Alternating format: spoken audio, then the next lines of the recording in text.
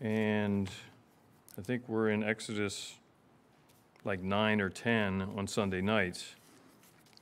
But when Pastor went through chapter 3 and 4, the Lord spoke to me about something.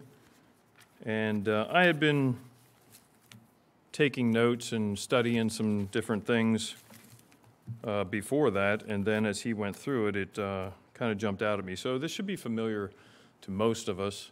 Um, but before we start, how about we have a word of prayer? Lord and Heavenly Father, I pray that you be with us this evening. Lord, I pray that we'd see something from thy word, something that we can apply to our lives. Lord, we want to hear from you. We want to be better children of thine, and we want to serve you with all of our hearts. So speak to us tonight through your word. We ask this all in Jesus' name, amen. Okay, so if you can open your Bibles to Exodus chapter 3. And I've titled this, What Has God Given to You? Now, God has given each and every one of us different things, different talents, different abilities. What I can do, maybe you can't do. But what you can do, I may not be able to do. It's like parts of the body. We can't all be the eye, can't all be the nose, we can't all be the same uh, member, but we all have a part in the body. So God has given you special talents, and God expects each of us to use those talents to glorify Him. Because the chief end of man is to glorify God. That's our function. And we are to allow God to use those talents that He's given us. I mean, that's why He's given them to us. He doesn't give us things to just have for us. It isn't about us, it's about Him. We are to be a living sacrifice, holy, acceptable unto God, which is our reasonable service. That doesn't mean that's above and beyond. No, that's, the, that's what's reasonable. So let's, let's think about this. A lot of times we go, ah, you know what, God can't use me. I can't, and then fill in the blank. I can't preach, I can't teach, I can't this, I can't that. And you also think, what can God do with someone like me? I have so little as far as open talents, things that I can do. What can God do with me? Well, let's take a look and see what God did in the life of Moses. Okay, so we know, I believe every one of us knows the story of Moses and the burning bush. Okay, so Moses is out in the wilderness. He's been doing this for about 40 years because he ran away from Pharaoh in Egypt because of what he did, how he killed that Egyptian, and he had to flee. So it's been 40 years. So he's out in the backside of the desert. He's hanging out with the sheep or goats or whatever it was. I think it was sheep. I don't know that the Lord tells us a whole lot, but he was a tender of the sheep. And um, there's this little, I'm going to call it a shrub, that catches on fire, or looks like it's on fire. And that was nothing new, that wasn't a big deal. Uh, they, they had seen stuff like that in the desert all the time. It gets dry enough, it just spontaneously combusts. But this one did not consume. Sort of like take, it's sort of like taking a marshmallow when you roast marshmallows and they catch on fire. Well, they go quick. What if it just kept burning. That would get your attention. So Moses is out there and he sees this bush and he says, Well, hey, there's the bush. He's like, Wait a minute, it's not being consumed. And if we look at verse 3 of chapter 3 in Exodus, Moses said, I will now turn aside and see this great sight, why the bush is not burned. This is a big deal. This is something I never saw before. And when the Lord saw that he turned aside to see, God called unto him out of the midst of the bush. So God physically, audibly spoke to Moses. And he called him by name. He said, Moses, Moses. And Moses says, I'm here. I'm right here. And the Lord said, Draw not, this is verse 5, draw not nigh hither. Put off thy shoes from off thy feet, for the place whereon thou standest is holy ground. And then he identifies himself in verse 6 I am the God of thy father, the God of Abraham, the God of Isaac, and God of Jacob. And Moses hid his face, for he was afraid to look upon God. So he knew enough not to be staring at God and go, well, he probably thought he was going to die. That's probably what he thought, okay? Because they knew no man has seen God and lived. So he was, he was very concerned about him looking at God, which was not actually God, but a, a burning bush, but God spoke out of that. So, anyhow, he looked, he looked away. And the Lord said in verse 7 I have surely seen the affliction of my people which are in Egypt, and have heard their cry by reason of their taskmasters, for I know their sorrows. Okay, so God basically said, I have heard from the children of Israel out of Egypt, I have seen their affliction. And in verse 8, he says, I am come, this is God speaking, I am come down to deliver them out of the hand of the Egyptians, and to bring them out of that land unto a good land and a large, unto a land flowing with milk and honey. And then he identifies the people that are living in that land right now. Now, therefore, behold, the cry of the children of Israel has come unto me, and I have also seen the oppression wherewith the Egyptians oppress them. Okay, so God goes through all that. Then, verse 10, he says, Come now, and I will send thee unto Pharaoh, that thou mayest bring forth my people, the children of Israel, out of Egypt. So here is where God says, I'm, co- I'm come down to help them, to take care of them, and I am sending you to Pharaoh. In verse 11, Moses said unto God, Who am I that I should go unto Pharaoh? and that I should bring forth the children of Israel out of Egypt. In other words, why did you choose me? I'm a nobody. I'm a shepherd. Lord, don't you know 40 years ago I tried to help the Israelites, and you saw how that went. Now I've been out here for 40 years and you want to use me? First of all, anybody that I knew that was in Pharaoh's court is gone because Pharaoh had died, and it was a new Pharaoh. They don't know me. I have no political power. I have no way to do what you're asking me to do. Okay, this is what Moses, now you got to understand, some of this is my interpretation, okay? But basically, Moses said, I'm the wrong guy for the job. And I know that feeling, okay? So, verse 12, God said, Certainly I will be with thee now, we have that same promise from God. God says He will never leave us nor forsake us. And God has asked us to do things in His Word. And what do we do? We say, I'm not the right guy. Okay, so the Lord basically says, I will be with you in verse 12. And then Moses comes back in verse 13 and says to God, Behold, when I come unto the children of Israel, and shall say unto them, The God of your fathers hath sent me unto you, they shall say to me, What is his name? What shall I say unto them? And we all know the, the next verse where God said, I am that I am. And you're to tell the Israelites, I am hath sent you. And God said, now verse 15 here, he, continues on. God said, Moreover unto Moses, Thus shalt thou say unto the children of Israel, the Lord God of your fathers, the God of Abraham, the God of Isaac, and the God of Jacob, hath sent me unto you. This is my name forever, and this is my mem- memorial unto all generations. Okay, so God covers the question that Moses had, and then he continues in verse 6, 16 said, Go and gather the elders of Israel together, and say unto them, The Lord God of your fathers, the God of Abraham, of Isaac, and of Jacob, appeared unto me saying, I have surely visited you and seen that which is done to you in Egypt. Okay, so you're going to go to the Israelites and you're going to tell them, I am hath sent you, and I'm going to be with you. Verse 17, I found this is something that I hadn't seen before. God is speaking here in verse 17. And I have said, that's past. So God said, I have told you this before. Now, I have a cross reference in my Bible where it goes back to um, Genesis chapter 15, verse 14, where God told Abram that your descendants are going to be in a land, they're going to be serving other people, and then I am going to bring you out.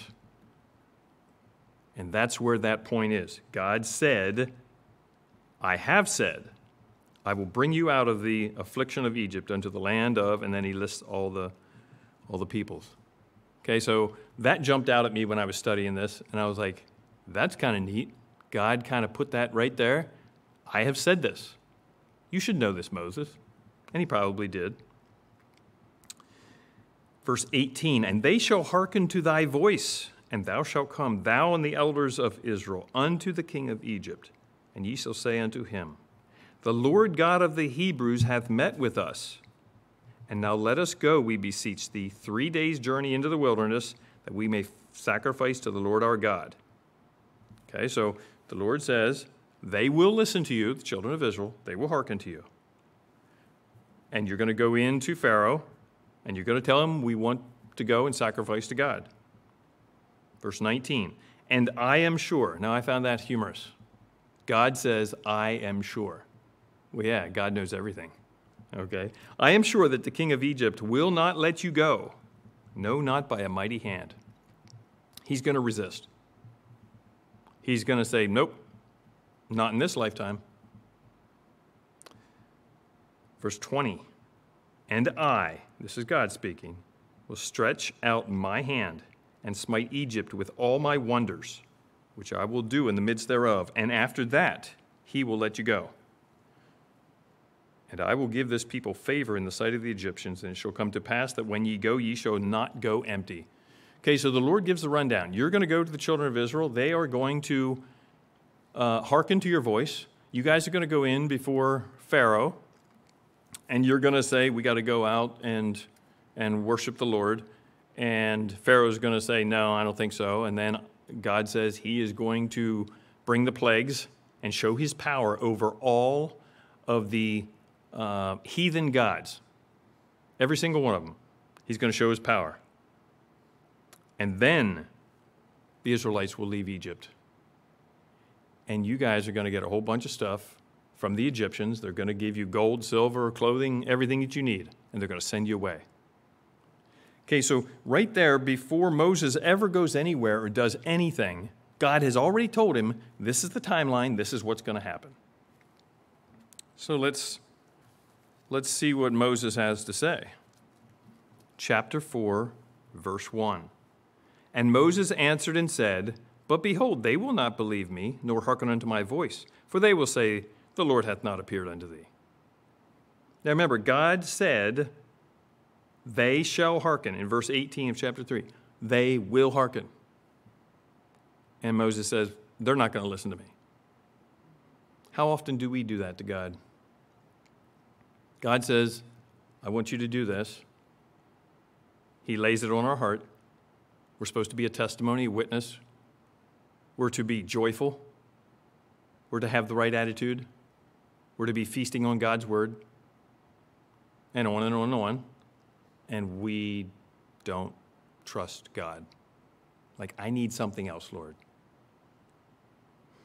Okay, so the Lord says to him in verse 2 What is in thine hand? What is it that you already have? And he said, A rod, a stick. You're like, okay, big deal. The Lord said, Cast it on the ground. And he did. And when he did, it became a serpent.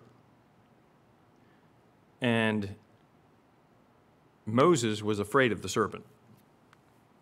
So I don't know if it was a uh, poisonous type serpent. I, I don't know. Maybe he didn't like any kind of snakes. I have no idea.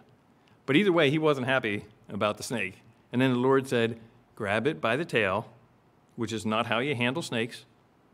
And when he did it, it became a rod again. Verse 5 that they may believe that the Lord God of your fathers, the God of Abraham, the God of Isaac, and the God of Jacob, hath appeared unto thee. And the Lord said, Furthermore unto him. Okay, so the Lord's like, Okay, so you got that one that you can show them, a sign. Here's another one. Take your hand, put it in your bosom, and pull it out. And he did, and it was white with leprosy. I am sure that that was uh, kind of scary and frightening. And at that point in time, the Lord said, Do it again. And he put his leper's hand back in, pulled it out, and it was just like the rest of his skin. So there were two signs that he could show to the children of Israel. Verse 8 And it shall come to pass, if they will not believe thee, near, nor hearken to the voice of the first sign, that they will believe the voice of the latter sign. And it shall come to pass, if they will not believe also these two signs, neither hearken unto thy voice, that thou shalt take of the water of the river and pour it upon the dry land. And the water which thou takest out of the river shall become blood upon the dry land. So God gave three signs for Moses to use. So then Moses went and did what God said, right? No. No. Verse 10. And Moses said unto the Lord, O my Lord, I am not eloquent, neither heretofore, nor since thou hast spoken unto thy servant, but I am slow of speech and of a slow tongue. I get that. I don't like the public speaking. This is terrifying being up here. Okay? But the Lord had called him, and the Lord told him, This is what you're to do. So he had an excuse slow speech and slow tongue. Verse 11 And the Lord said unto him, Who hath made man's mouth? Well, we know the answer to that. Every one of us would say God. I'm sure Moses was thinking, Well, Lord, you did. I mean, you made us all. Here's, here's something else that jumped out at me as I was studying. Or who hath made the dumb, or the deaf, or the seeing, or the blind? Now, we like to think that God makes everything 100% perfect. But here, God is taking responsibility for things that we would call less than best. I found that to be interesting. And God, if I, if I can't do something as good as somebody else, that's no excuse for me not to do what I can with what I have. We, we have a tendency to let those with the special talents, those who are good at fill in the blank, do different things. Okay, we, we would love to have people that will preach to us who are very eloquent and good with speech, hold our attention, because boring speakers cause us to fall asleep, or something to that effect. Okay? But this is God's word we're talking about. This should never be boring. But with that, I'm, I'm getting off on a rabbit trail there. Okay, so God here takes responsibility for things that we consider less than best. And I think every one of us would consider ourselves less than the best. Because we look at what we have and we go, I don't see how God can use this. I'm not. And then we look at others and say, well, they would be a better choice. Verse 12. This is the Lord speaking. Now therefore go, and I will be with thy mouth and teach thee what thou shalt say. Again, God promises to be with us. God says, I will be with your mouth to Moses and I will teach thee what thou shalt say. Teaching requires learning. He didn't say, I'm going to put words in your mouth so that you can speak and not have any trouble. He says, I'm going to teach you. I believe that's teaching him to trust God. Verse 13. This is Moses speaking. O my Lord, Send, I pray thee, by the hand of whom thou wilt send. In other words, Lord, send somebody else for that job. I can't do this. Get somebody else. Verse 14. And the anger of the Lord was kindled against Moses.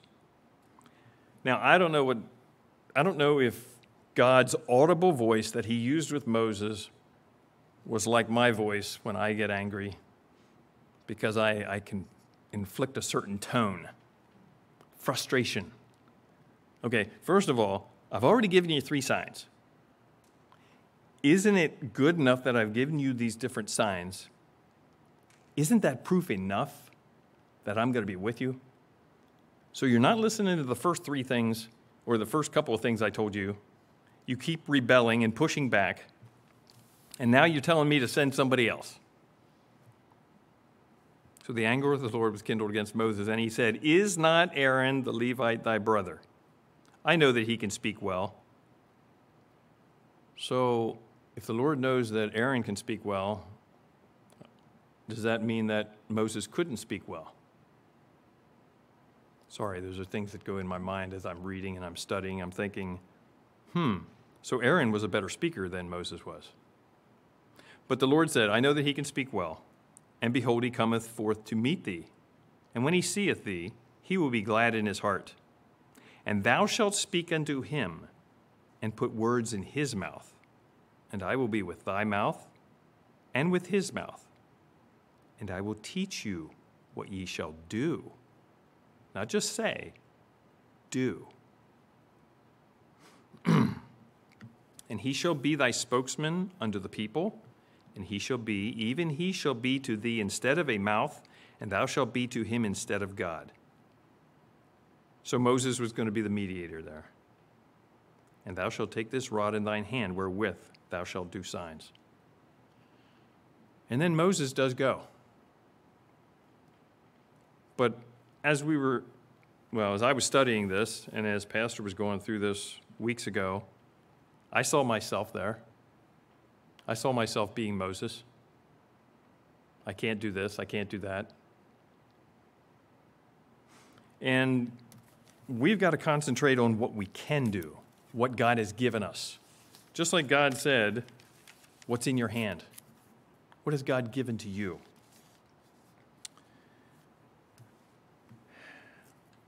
We like to say, I don't have great talents or abilities. And, and these are just little notes that I put down here.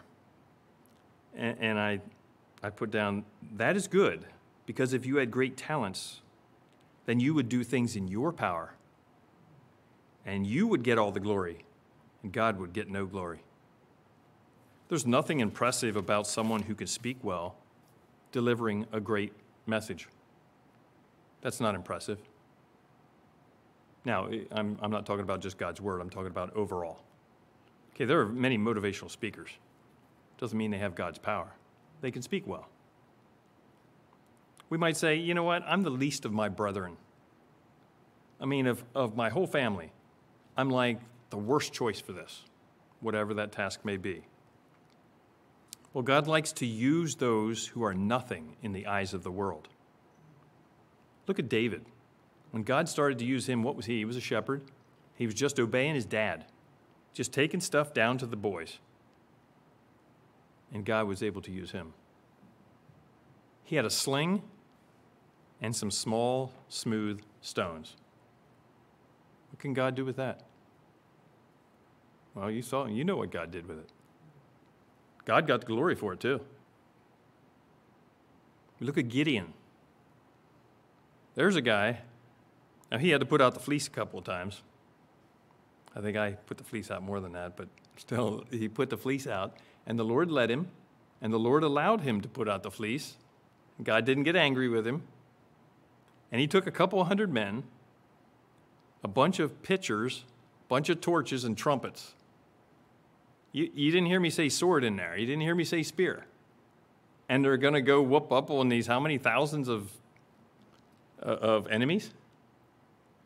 And God used that in an amazing way. In fact, when, when they were getting ready, I don't know how many thousand, I didn't write all this down, how many thousands they had together. And uh, the Lord said, Well, Gideon, that's great. You got a good group of guys here, but uh, it's too many. I'm sure he's like, What do you mean? I mean, they got like three bazillion. We have, you know, a couple thousand. And, and the Lord was like, Nope, too many. Tell the ones who are scared to go home. They went home, and he's like, Well, maybe we can do it with this, Lord. Did you hear what I said? Maybe we can do it with this. That's what we, we think. We think we are going to do it. So then the Lord said, No, take them down to the water's edge and have them drink. Guys that drink a certain way, put them off on one side and the other ones on the other side. Well, it was only a couple hundred. Lord said, Those are the ones I'm using. Not because of the way they drank, but because God separated them out. These are the guys. Then they went and got a bunch of pottery and a bunch of torches and a bunch of trumpets. I'm not sure if they had that many trumpets just hanging around. That's a lot of trumpets to take. You know, I think it was 300 men, if I'm correct. Okay? So God used that to get a great victory. And, and we'd be like, how can you use that to do anything? Well, God does it. It's not us, it's God's power. We also like to look at other people and say, well, you know what?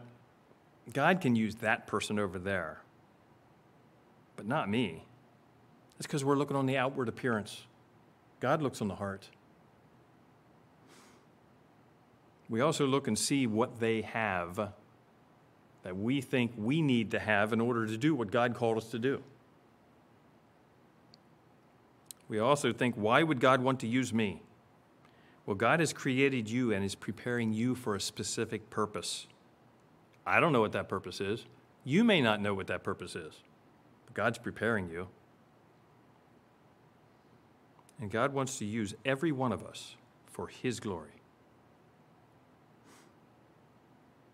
Something else we like to say all I can offer to God is, and I think of a couple of loaves and few fishes. Look how God used that. Those, that little boy that had his lunch with him, he had no idea God was going to do that. He was just doing his everyday thing. Maybe his mom had him take the lunch with him, or maybe he went and picked it up somewhere and was going to take it home to his mom. I have no idea. But the boy had his lunch. And God used it to feed 5,000, and then we had 4,000 in another location. How amazing is that? You can't, you can't say that that boy had anything to do with that other than God used him. That's it. God got all the glory. We need to look at what God has given to us, not at what we don't have.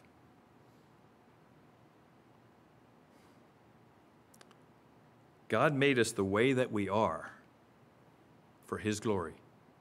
Remember where I read about God taking credit for the blind and the deaf? That's God's business.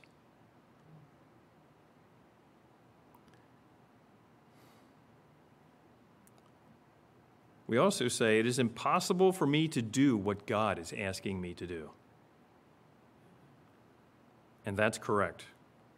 You alone cannot do it. You must have God's power to accomplish the tasks. We think it's impossible because we think we have to do it. Can you imagine the, the boy with his lunch? If the Lord said, All right, what do you got there? And he says, Five loaves, two fish. All right, go ahead, you start, uh, you break that and divide that and make that into enough for these 5,000 guys. but you know what? He handed it over to the Lord, and the Lord took care of that.